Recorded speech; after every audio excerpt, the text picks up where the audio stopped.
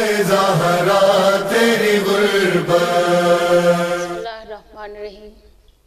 السلام علیکم ورحمۃ اللہ وبرکاتہ۔ آج آٹھ شوال یوم غم۔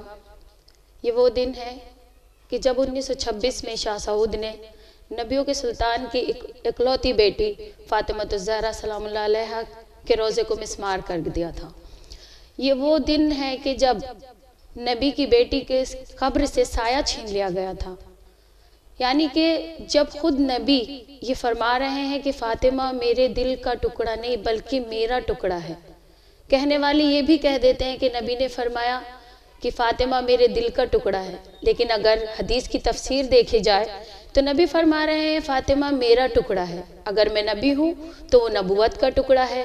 اگر میں رسول ہوں تو وہ رسالت کا ٹکڑا ہے۔ اگر میں طاہر ہوں تو وہ طاہرہ ہے۔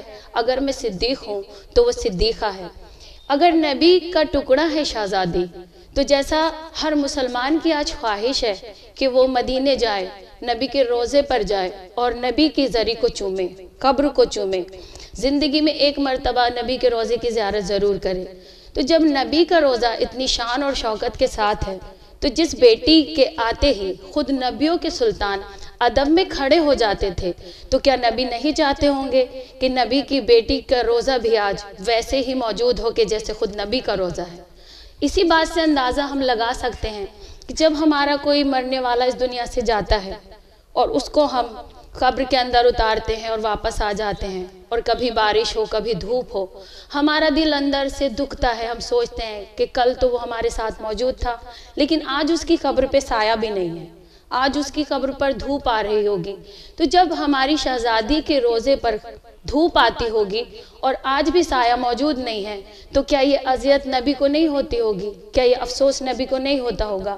یہ سلسلہ آج کا نہیں ہے۔ کہ شہزادی پر ظلم کیا جا رہا ہے۔ ان کے روزے کو تعمیر نہیں کیا گیا۔ یہ سلسلہ اس وقت سے ہے کہ جب نبیوں کے سلطان اس دنیا سے گئے اور بی بی نے رونا چاہا، تو اس سائے کو بھی مٹا دیا گیا تھا کہ جس پیڑ کے نیچے آ کر ہماری شہزادی نبی کے لیے گریا کرتی تھی۔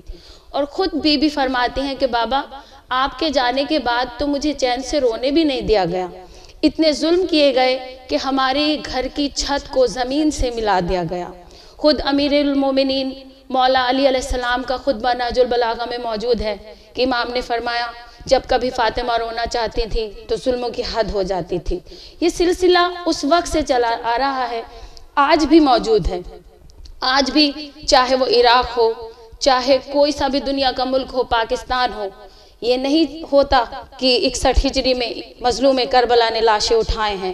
آج بھی اسی شہزادی کی جو نسل موجود ہے، جو اولاد موجود ہے، آج بھی گٹھریوں میں انہی جوانوں کے لاشیں اٹھائے جا رہے ہیں۔ تو بی بی کے روزے کی تعمیر کرنے کے لیے ضروری نہیں ہے کہ شہزادی کی اولاد اور آل عمران ہی آگے بڑھ کر آئیں۔ یہ ہر مسلمان کا فرض ہے جو محبت رکھتا ہے نبی کی۔ ہمارے آخری نبی جو بادشاہ ہیں ہر مسلمان مانتا ہے کہ نبی امت کو بخشوانے والے ہیں۔ تو یہ فرض سب کا ہے کہ آج ہر ایک مسلمان ایک ساتھ ہو کر احتجاج کرے، پروٹیسٹ کرے اور یہ مانگ کرے کہ ہماری شہزادی کے روزے کو جلد سے جلد تعمیر کر دیا جائے۔